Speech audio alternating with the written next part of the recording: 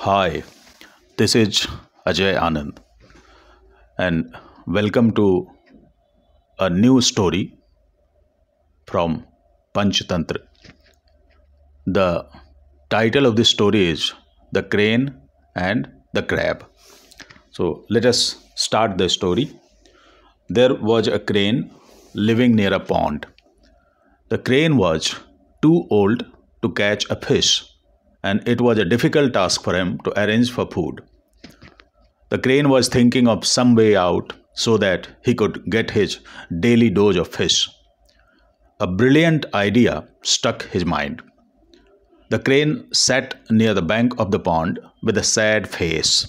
When some of the fishes asked him, the crane began to cry.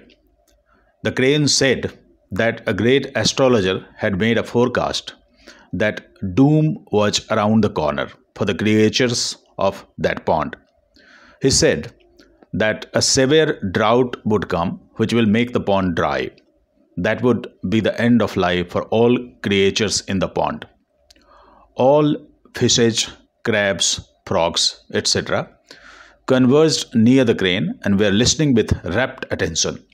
They asked the crane, You are quite wise because of your old age. Do you have any suggestion for us to save our lives?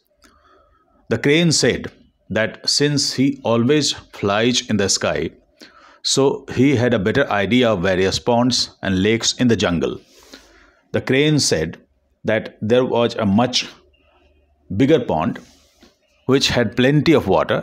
He said that the pond was too big to be affected by even the most severe drought. The crane said that he would give them a ride to the bigger pond before it was too late. The crane also said that it was an opportunity for him to pay back for what he had got from that pond. All the fishes, crabs, frogs, etc., agreed to this. Thus, happy times were back again for the crane. Every day he used to carry one of the fishes on its back, but instead of taking them to the promised bigger pond, the crane used to devour them.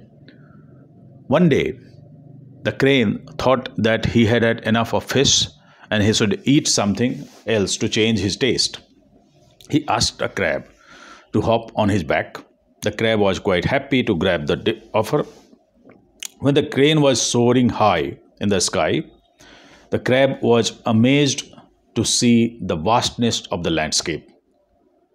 While he was enjoying the flight, his eyes fell on a huge heap of fish skeletons. He inquired about the heap from the crane. The crane told him the reality and said, You should begin your last prayer because I am going to finish you off. The crab was quick to react.